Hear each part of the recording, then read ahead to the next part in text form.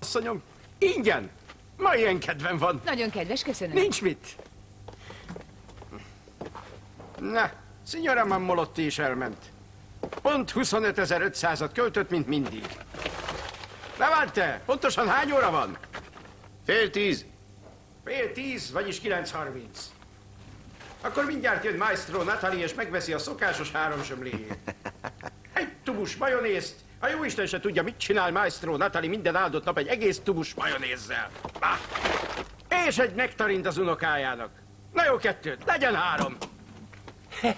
Voilà, Maestro Natali. Jó napot, Mit kedvesem! parancsol, Maestro? Hát kérem szépen, kérek három vajas zsömlét, Három vajas egy zsömlét. kis tubus, várjunk csak, mit is? Szardella pasztát? Nem, nem, nem, egy kis tubus, na, hogy hívják már azt a... Dzsemre gondol? Á, dehogy, ne vicceljen! Megvan! Egy tubus majonézt Egy kérek. tubus majonézt Maestro Natalinak hallottad? Ja, és kérek még egy nektarint az unokámnak.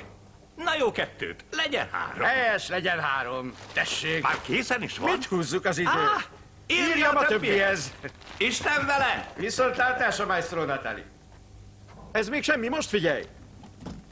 Szavasz! Bankavaros sorsjegyed! Szevasz, van kaparos sorsjegyed?